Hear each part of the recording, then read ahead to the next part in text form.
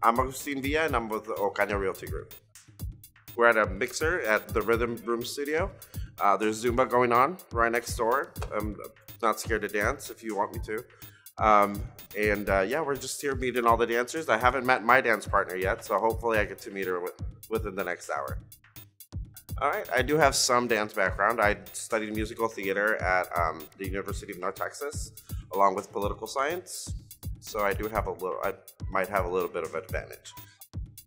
Um, well, I mean, in the musical theater world, it's a lot of you know like stage presence and leaps and turns. Um, so I'm kind of trying to lean towards doing a little bit of Latin dancing, so that way I can get out of my comfort zone.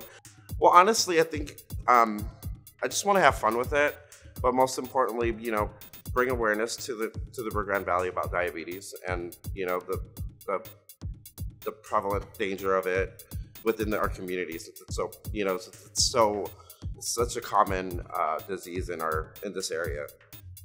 Watch out! I'm coming for you.